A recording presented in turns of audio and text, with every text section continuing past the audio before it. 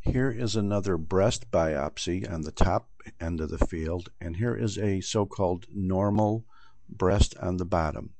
Notice that in a normal breast, or at least normal for a postmenopausal woman, most of the tissue in the breast biopsy is actually fibrous tissue. Probably less than half are uh, lobules and acini. Here is a classical lobule and these little round circles within it are acini. Notice that they are generally growing in a nice normal fashion and I bet you if I could blow up on this lobule uh, high enough maybe we'll be even lucky enough to see some myoepithelial cells. Uh, perhaps some of these more spindly cells like here and here towards the periphery. This is a normal lobule blown up. Here is our biopsy in question.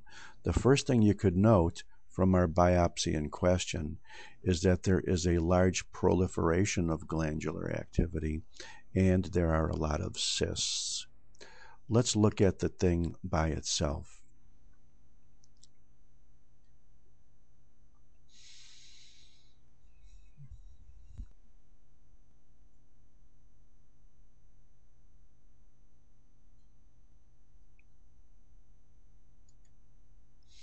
Here are some cystic areas, and generally this breast is proliferated. Look at all of the epithelium, bluer stuff within here. Look how these epithelial structures are right up against each other.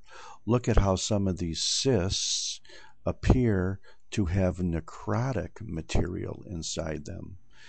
Uh, let's take a closer look at this necrotic cyst. If you can see towards the periphery, you can recognize epithelial cells, but in the middle, there is this area in which you cannot recognize cellular outline and this kind of granular and junky and eosinophilic or hyalinized. This is necrosis.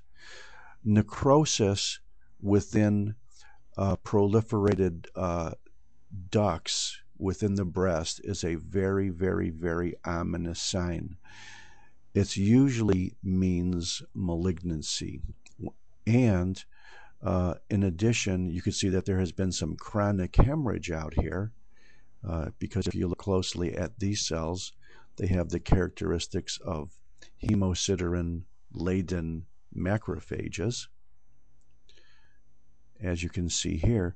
But in addition, there is a more bluer, um, almost microscopic foci of material, which uh, I think you would have no trouble recognizing as calcium. So not only are pinpoint areas of calcium within these ducts, within the necrotic material, but there's also chronic hemorrhage or this more brownish hemosiderin uh, at the edge of the duct. Notice the cells themselves do not look terribly scary. Oh, I think we could probably say they have some features of malignancy if you were a real sharp person but uh, in general, they look rather uniform. So pleomorphism is not the main feature to diagnose malignancy in breast ducts. It's necrosis, which is much more important. There's a whole bunch of other features, but I just thought I'd mention the most important one.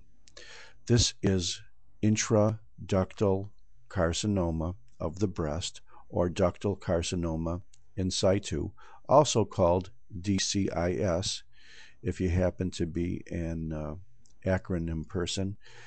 Now, if you were to examine this biopsy very carefully at these ducts, some of which have necrosis, like here and here, or just a biopsy in general, and if you were to see that some of these ducts are actually showing infiltrating nests into the surrounding fibrous tissue, then it would no longer be an in situ lesion, wouldn't it?